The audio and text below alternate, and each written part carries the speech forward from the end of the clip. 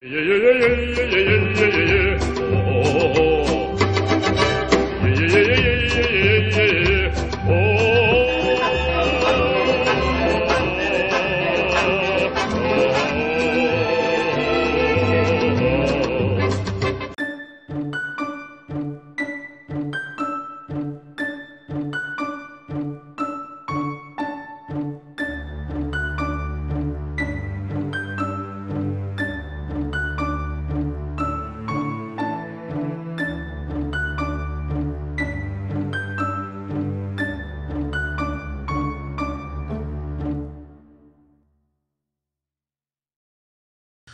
Not too long ago, I made a video as a response to Apple Soldier about um, comparing the i7 iMac excuse me, to a home-built computer.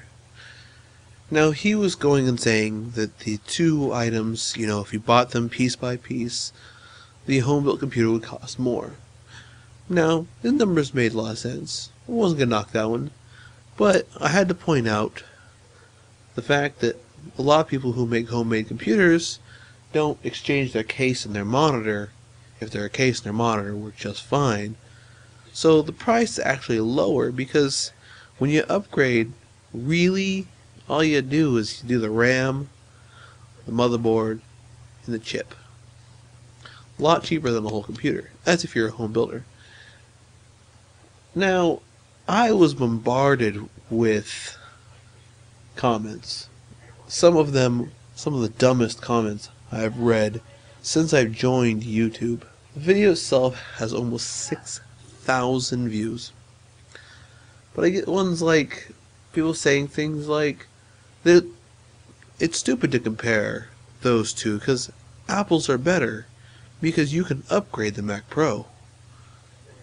The Mac Pro cost more than the iMac, so that seems retarded for me to argue the Mac Pro versus home built.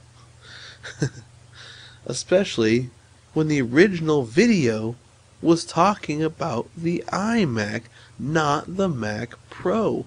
I'm starting to think of some of these fanboys are fucking retarded. I think you're totally wrong. Normal users want to upgrade, by an entirely new machine. They don't have the knowledge to build a computer. For you on the other hand, I totally understand. Okay, the point of the video, again, was custom built versus the iMac. I didn't make those rules. That was the original video. This is my response.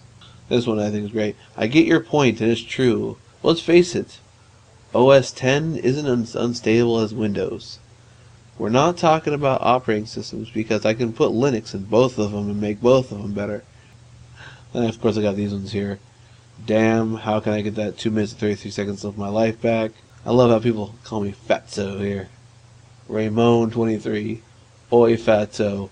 I want my 2 minutes and 34 seconds back. Alright, fuck this shit. I'm done. Few people made some valuable points here. Um, this guy here, he pointed out the eBay says check eBay and you'll find that Apple products hold their value. This is true. Apple products do have resale value. If you weren't into building your own and you had an Apple, you could sell your old Apple for more than 50% of the price, usually when the new one comes out. So that is an option. And I ain't just I ain't just hating on trollers, you know, trolls to hate, because that's a good fucking point. That's a damn good point. Something you can't do with an old beat up old Dell, you know what I mean? Anyways, I digress. And now in other news,